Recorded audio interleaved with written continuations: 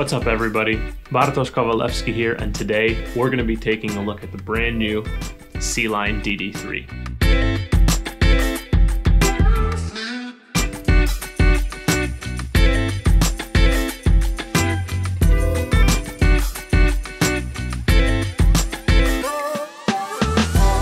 Personally, I'm really excited about this one because the DD3 is one of my main distance drivers that I currently bag. The plastic feels exactly the same as the other FD and MD3 that just came out, and the couple that I got are fairly domey. They have slight to good dome, meaning if you can get it up to speed, you should get pretty good glide out of this disc going down the fairway. So without any further ado, let's check it out.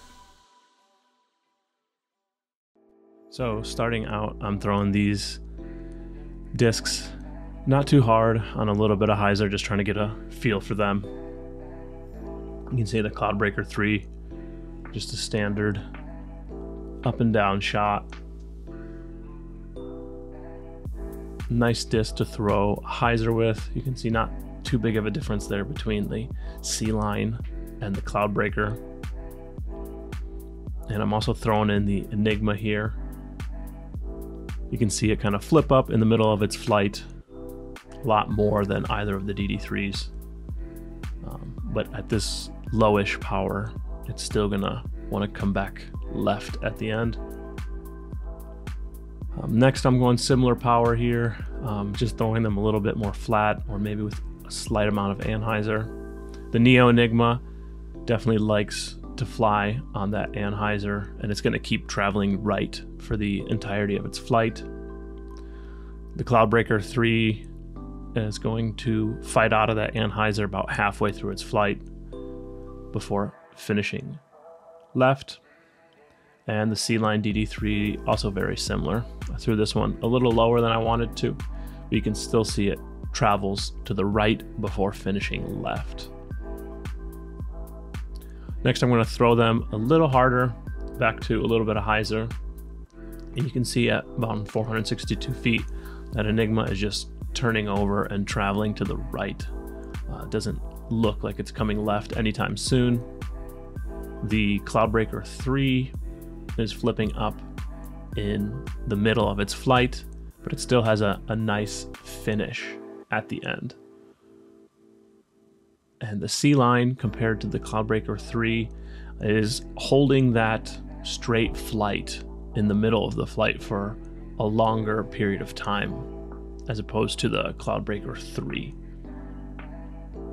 Throwing these discs on forehands, um, the Enigma is going to be much more sensitive to the amount of power you put on it just because of how flippy it can be.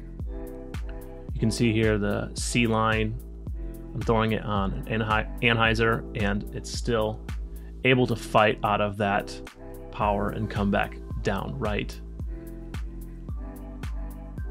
Cloudbreaker 3, pretty similar at this low power forehand. I can turn it over and it can reliably come back down right for me. And last, we're going to throw these discs a little harder. Still throwing them pretty flat with maybe a little bit of hyzer and you can see like the Cloudbreaker 3 likes to flip up to flat in the middle of its flight again, still reliably finishing left at the end. And the C-Line DD3 just seems to have maybe a little bit more glide. It travels straighter in that mid section of the flight, really allowing you to get some long flights out of this disc. And the Enigma going to be a little bit more power sensitive, so I, can't throw it as hard, but you can see it kind of flip up and finish right. Next, moving to some on the course shots. Um, anytime you have wide open space, I'm going to be throwing this DD3. Even on some forehands where I want to get some distance, you can see I put it on a little bit of an anhyzer uh, and is able to go through that tunnel. Shots like this, I really like this new DD3 just because it's so straight at a good amount of power, and I can feel very confident in throwing it in those situations. Even on some shorter chip up forehands like this, just under 200 feet. Here you see me throwing it on a forehand, plenty of anhyzer angle, and it's still able to fight back. I'm really enjoying this DD3 because it's the perfect stability right out of the box. It's not super overstable uh, and it's not super flippy. So I feel really confident throwing it both on the backhand and the forehand. And here you'll see me throwing it on an anhyzer. And you just can see how long it holds that, but still at the end of the flight, it finishes nicely. Personally, I'm really impressed with the flight of this disc. It's less stable than what I initially thought it would be, but that's a good thing. I'm able to throw this disc anywhere between 430 and 500 feet on the backhand pretty easily, getting those long S-shaped flight patterns. Pro players and amateur players with higher arm speeds are really going to be able to unlock the features of this disc, getting it to turn, getting that glide. Amateurs, beginners, and intermediate players might use this disc as more of a overstable distance driver because they might not be able to really throw the disc hard enough or get enough torque on the disc to be able to turn it and get that glide.